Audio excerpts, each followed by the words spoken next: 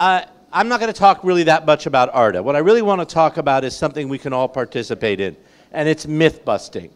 Now, you all know what a myth is, right? It's any invented story or idea or concept, an imaginary or fictitious thing or person, and this last one is the one I think is our deal an unproved or false collective belief that is used to justify a social institution.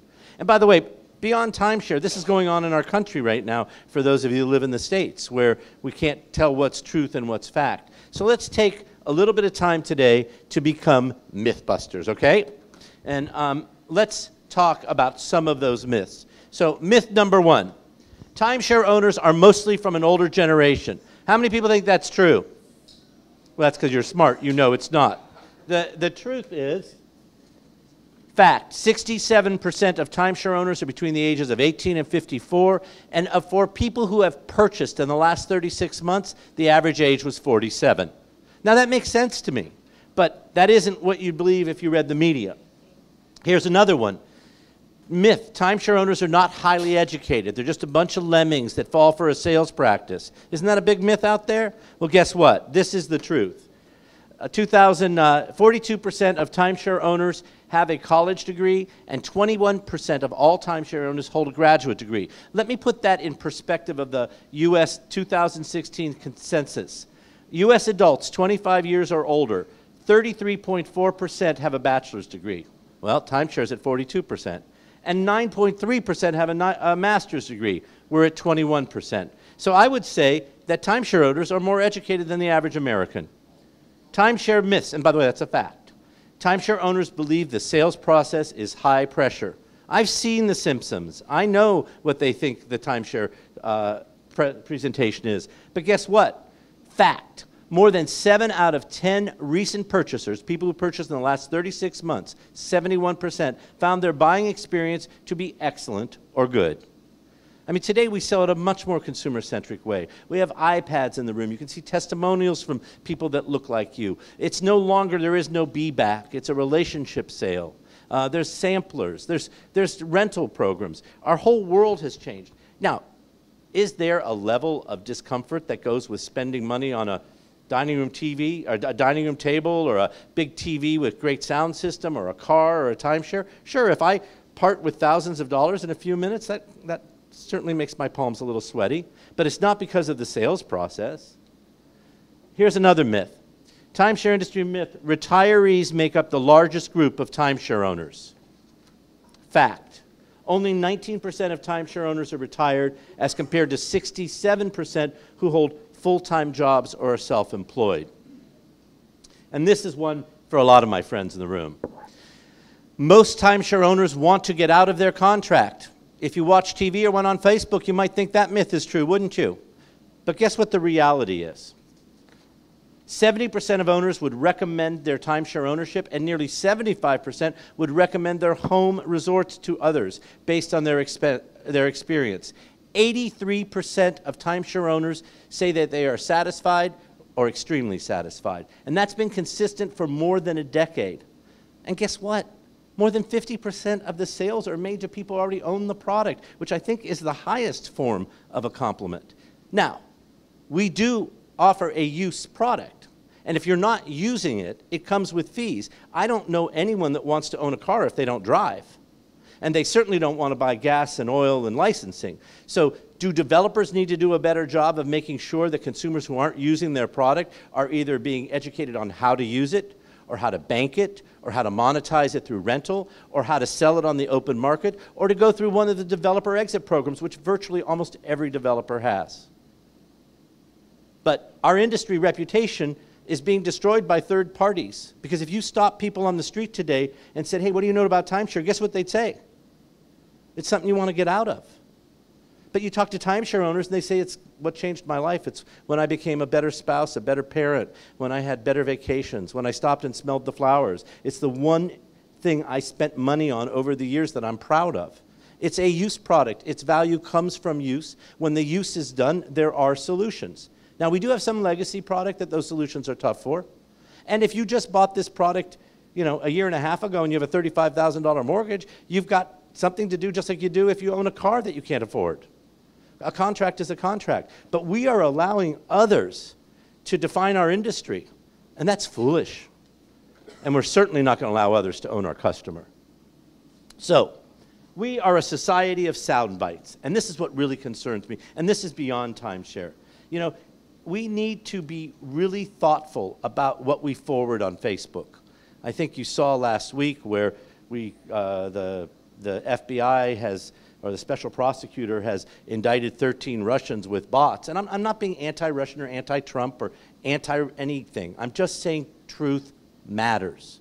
And if you see something that says, you know, uh, Trump's a racist or Hillary is a Muslim or whatever, I, I don't care what it is, just check it out before you forward it or post it. And the same thing's true about everybody's running to get out of their timeshare. We all know that people who use this product love it. And are glad, many are glad to, it to leave it to their kids and family. There are some people that do need out. And when they do, there are options for them. And I think developers need to do a better job, and I'm proud of them. I, I look at the kind of programs that some of the developers are doing today to bust these myths and to educate owners. I listened to uh, Mike Brown, the CEO of uh, Wyndham Vacation Ownership, on their earnings call last week, where he talked about Wyndham's Cares and the number of owners that are calling him. So I think, I think it's great that developers are waking up to this. And we need to be armed with the facts. And in order to bust myths, you have to have knowledge. And in order to use data well, you have to know the difference between facts and opinion. It's important to have a mission. You can disagree with a mission, you can disagree with an opinion, but you can't choose your own facts. I mean, I'm 5'3, okay? Now, if I go to some country, I don't want to say anything that sounds inappropriate, but if I go to a country where people are much shorter, I might be seen as tall, right? but I ain't tall. I'm just taller than those people. So to say I'm tall is a lie, it's a myth. Now, you could say I'm one of the most handsome, dynamic, short people you've ever met. That would be a truth. Um, thank you. I appreciate it. My twins. You're tall when you stand next to me. But let's talk about what research and sentiment, and by the way, they are both very important. And I compliment the Matamos that have done great sentiment uh, through uh, their programs. I know the NTOA uses it. Uh, ARDA has the HARC report. You know, that's about how people are feeling about something in a moment in time, what the chatter is out there. That's very valuable data. But it is different than research. When I hire Pricewater uh, House Coopers, or if I hire, um, I guess it's PwC today, or Deloitte and Touche to do our financial performance, and they do a survey of you know 100 developers, and they beta test it and market it, and they benchmark it, and they do quantifi quantifying research. That's fact. And we have to know the difference. So how people feel isn't fact; it's sentiment. It can be truthful, but so we need to be really careful. We kind of it's like it's a little bit like quoting the Bible. You know, people like to pick and choose which ones they want to quote from, right? You know, so um, help me, help the industry by being truth tellers, by making sure that we know what we're saying, where we're saying, that we'll say, wait, wait, this is sentiment, this is fact, this is opinion. We're all allowed to have our opinions, but we can't have our own set of facts. And I'm going to bust a myth about ARDA. How many people think ARDA is anti resales? Oh, come on. Well, good, because we're not. How in the world could you sell perpetuity and not believe in taking an opportunity for people to recycle that product? Um, how many people think that, you know, that ARDA doesn't care about whether a timeshare owner wants out or not? Because we do. We have a whole staff of people that man phones and manage online a portal that we have for consumers, connecting them back to their developer, helping them solve problems. In fact, ARDA is three separate organizations. I wanted to, they're all not for profits. Um, they're all uh, live in the sunlight. Our minutes are available. There's no secret. ARDA is a 501c6 trade association representing the interests of developers of the product and the HOAs. That's the ARDA convention. That's our lobbying and legislative world. Then there's ARDA-ROC, which is a 501c4. It's a consumer group advocating to protect the integrity of the vacation real estate product that person purchased. And we work very closely with many consumer groups, passing non judicial foreclosure to make it easier for an HOA to recycle inventory that has been defaulted on. or we work closely to make sure that a consumer who owns a timeshare isn't charged a bed tax, a transient occupancy tax that a rental charges. You shouldn't be charged an occupancy tax for staying in your own unit. We win every single time.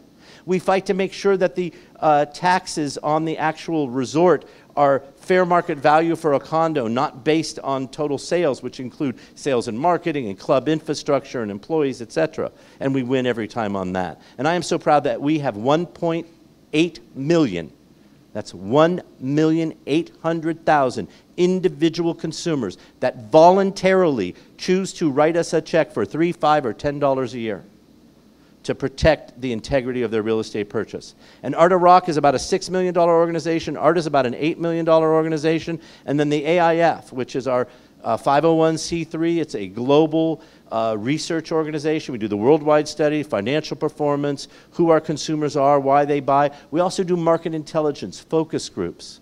You know, it's so interesting. We did a lot of learning from focus groups. I mean, Toyota, you were wowing today, by the way. And I just have to say, I, I read, because I've been curious about touching millennials, where Toyota saw that the average person who owned their cars was like 53, 54 years old. And so they made a, a cognitive decision through focus group work to create Scion which is that cute little boxy car, and you can get your own racing stripe and your own hubcaps, and you can pick your own sound system, and they do concerts at their uh, events at their dealerships. The average age, I think, of a Scion is like a 34-year-old. So, yeah, again, they, they were smart. And maybe we as an industry need to create new products for millennials. Because guess what? Every millennial I know, and I, by the way, I'm a closet millennial. I'm just an old one. But I like to get up on this and decide where I'm going to go this weekend. And I don't know that I want to be locked in. Maybe I want to buy five years of vacations or a sampler product or 10. Or you know what else? I've learned that a 53 year old with a three year old looks a lot like a 23 year old with a three year old. Lifestyle trumps generation. So it's not either or, but we need to serve everyone. Just like we need to be sending billing out in the paper for our older owners who are not trusting of the internet, but we also need to allow people to use debit cards and do email transactions. And probably 15 years from now, maybe faster, we won't be doing much paper. It may be something you have to ask for as a special thing because that's how our world is changing. But as we cross that bridge, we have to serve everyone. And um, I'm proud of ARDA. We're not perfect. By the way, you're ARDA too. How many of you are ARDA members? You're ARDA. I'm, I'm just a hired hack. And the reality is, we are what you want us to be. You know, people, what does ARDA think about that? Well, I don't know. What do you think? Because we're a collective. And guess what? Sometimes we don't even agree. Sometimes we can't reach consensus. Um, we just had a big think tank about exit. And it was very interesting. Um, and there was consensus around a lot of it, but there were some that there wasn't consensus around. And I'm glad to share that with anyone. Again, we live in sunlight. We're not trying to put anyone out of business. Uh, every business model should go do what they want to do. But I am not going to sit by and allow my industry to be maligned. This is a great product that improves people's family life. And if you own it, there are solutions for you if you don't want to own it. And the last thing you need to do is invite a third party in who's going to make it expensive and acrimonious, because the only person who's going to get rich on that are lawyers. And any piece of inventory, whether it's through a travel club or through a trade in or through a resale, if it doesn't go into the hands of a dues paying member, I'm coming to get you. We're working with every official, and I'm proud of our friends at the NTOA, they do the same. We are not going to allow our industry to be interrupted by those who just want to make a fast buck on a confused marketplace. Now, that doesn't mean we need, don't need to do a better job of understanding that marketplace. So, understand before you endorse, research versus sentiment, myth versus, versus fact, truth versus lie. Join me, please. Let's be truth tellers. Thank you.